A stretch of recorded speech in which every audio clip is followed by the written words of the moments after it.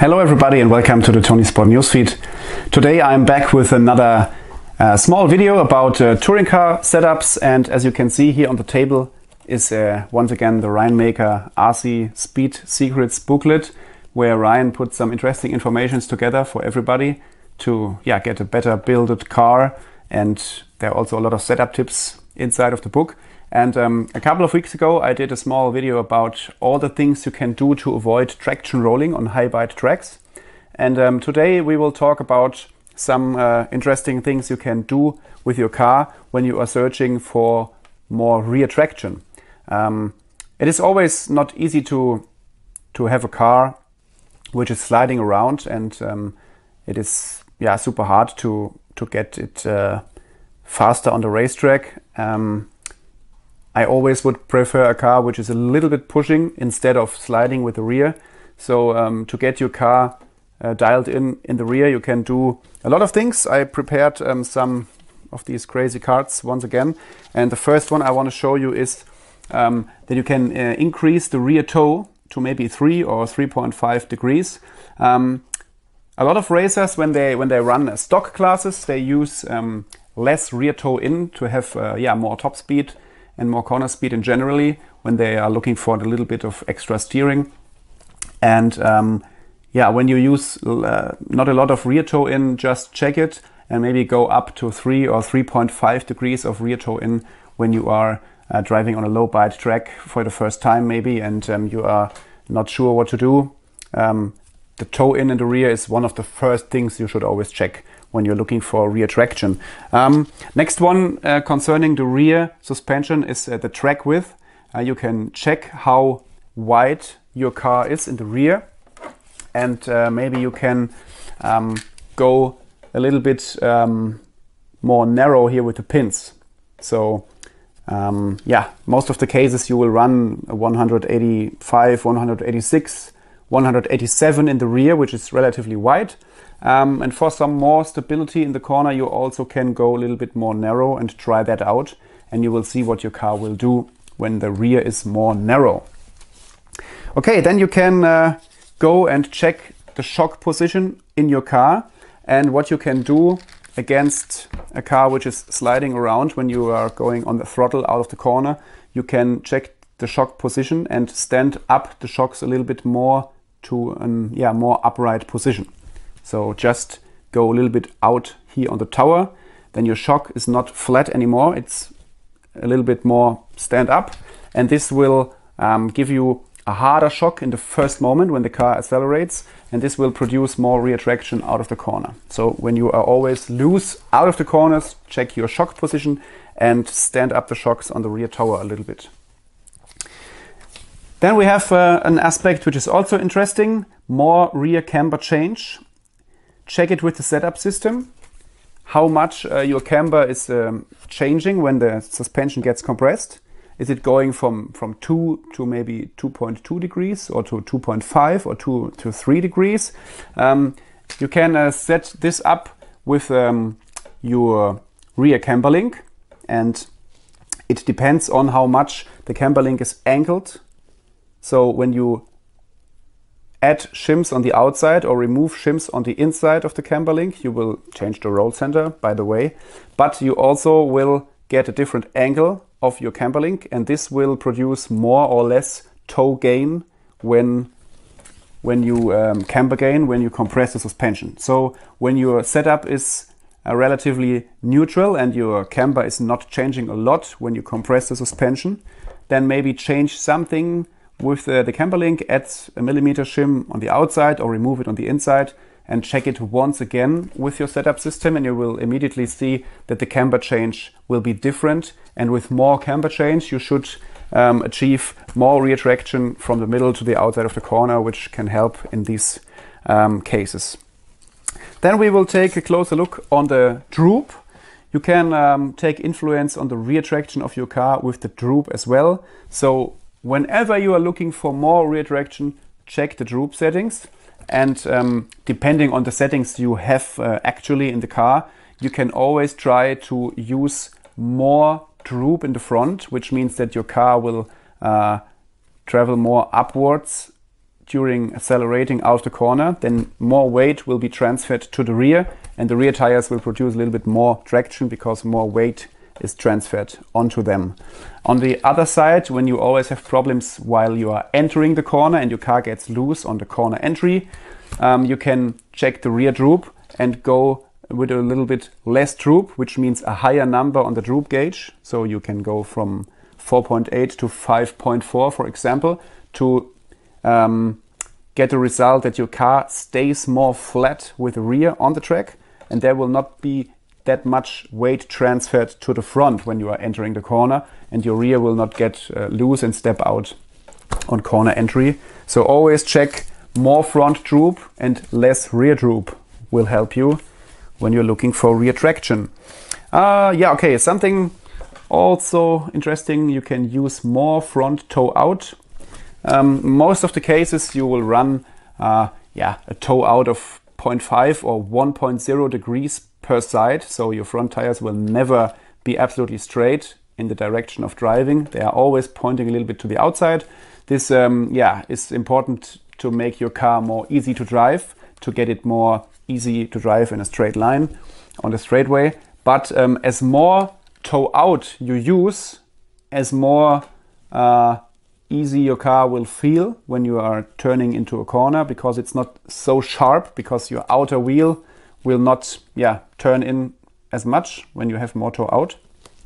So when you are using not a lot of toe out, you just maybe can go with half a degrees more per side to smoothen out the front, which will also be good for your rear and it will not stress the rear suspension package so much. Then you can check the roll centers. You can set uh, the roll centers on your touring car uh, normally with the setting of your camber links, but mainly you will do it here with the inserts on the suspension mounts. You can go uh, more up or more down with the wishbones, which will change the roll center. And what is um, always interesting to do is to um, give your car a roll center setup where the front roll center is a little bit lower than the rear roll center. This will produce a car where the front end uh, will try to roll more than the rear. And this will give stability to the rear because when you do it in the opposite way, when you will use a lower roll center in the rear compared to the front, which we normally don't do so much, then you will have a rear which um, is always trying to overtake the front because it's producing a lot more chassis roll than the front end. So always um, check your roll center. In most of the cases, we use an equal roll center front and rear, but you can get a car which handles better and has, has more rear stability when you go down with the front roll center or go up with the rear roll center a little bit. Okay, uh, next one is the, the gear differential. As you know, we use uh, gear differentials in the rear and a spool in the front in most of the cases. So there's a general thumb rule, which I will not go into detail more.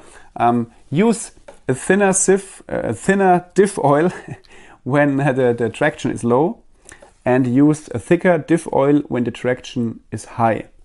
This will help you to have a car which is more easy to drive a thinner diff oil will mostly drive more easy in low grip conditions when the track is dusty or stuff like that.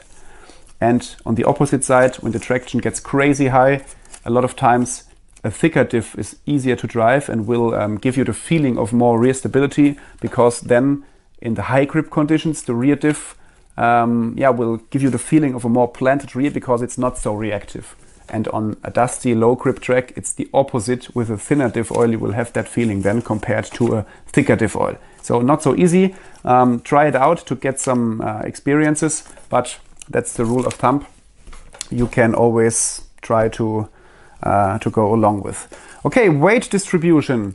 Move some weight to the front from the rear, or in generally to the front. So um, in today's touring cars, we have to add some weight almost all the time because the cars uh, the cars they are underweight if you don't use extra weights and you have the opportunity to weigh, to mount some weights here in the center line of the chassis in front of receiver and battery or servo and battery and you also can add some uh, weight here in the rear section behind um, battery and speedo but in general uh, you can say when you are uh, struggling with the rear because the car is turning in too aggressive and you lose the rear traction, you can try to add more weight over the front to smoothen out your car, which will also help the rear to be more stable. So if you have weight placed everywhere in the car, just take out maybe 10 or 15 grams from the rear and add it to the front as well, and you will feel that the car is not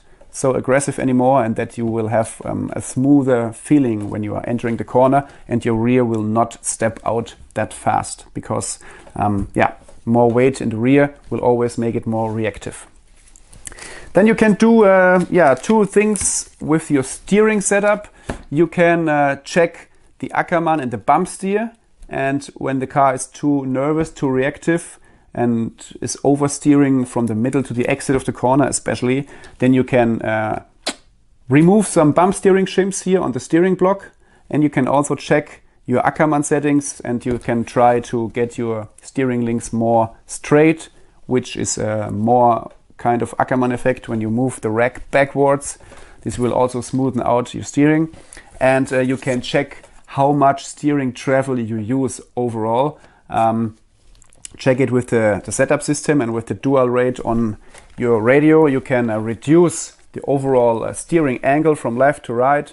And if you are using maybe a lot of steering which is 28 29 degrees um, and you have the feeling that it's too much steering then you can go a little bit down with the EPA on the radio with the dual rate to maybe 25 24 degrees then uh, go out on the track again and check if the steering is still enough and if these changes are helping you with the rear traction because uh, sometimes or a lot of times when the rear is loose it comes from the front end because the front is too aggressive. So you can do this as well.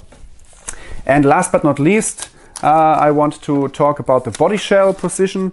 Um, normally you mount the body shell on the car in a yeah almost neutral position when you're running on carpet or when you're looking for more steering uh, for asphalt racing, we always go a little bit more to the front with the mounting position of the body shell. And um, when you have a body which is mounted maybe four, five, or six millimeter forward, measured from the neutral position, um, you will produce a lot of steering. And um, this is not always good for the rear of the car. So when your body shell is mounted forward, just take another body shell, mount it more neutral on the chassis and yeah, you will see that you will have a car which is more stable and does not produce that more steering. Um, you can all also go uh, and move your wing a little bit backwards.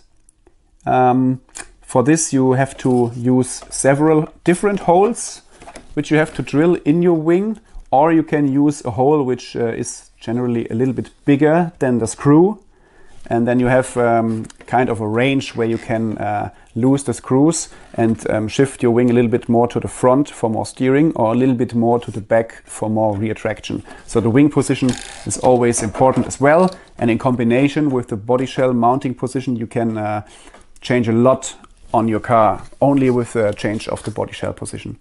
Yeah, I think that's it for today. Um, it was just a small video and I think there are a lot more of things you can do with the shock oil and with springs and everything. But these um, these things I think are really important to keep in mind because um, a lot of these tips are tips which you don't think at all when you are on the track. You always try to, to change some springs or a body shell or the shock oil, but things like weight distribution, the steering setup, um, yeah, these things with the body position, diff oil, there are so many things you can do, and I hope that um, yeah you will think about all these things when you are looking for more retraction the next time. And if not, I recommend to buy Ryan Maker's book because when you have this in your pocket, you always can take it out. At a big event, you have more than enough time to think about your next setup change, and you will then maybe understand a little bit better what to do and what not to do.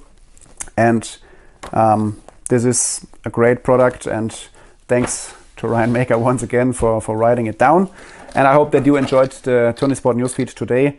When you're trying to find some rear traction, ch check all these things on your car and change all the things you have to do uh, to change and to try out on the track. Okay, that's it for today. Thanks for watching and until the next time, race with ToniSport you will never race alone. Goodbye.